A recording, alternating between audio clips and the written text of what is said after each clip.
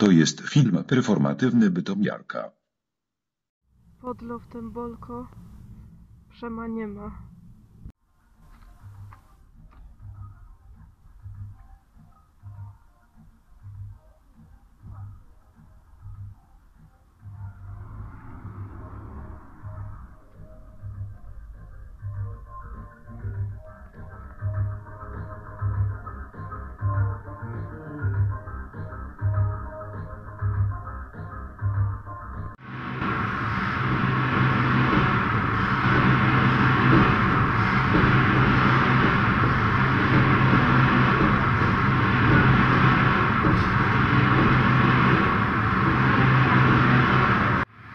klejaj!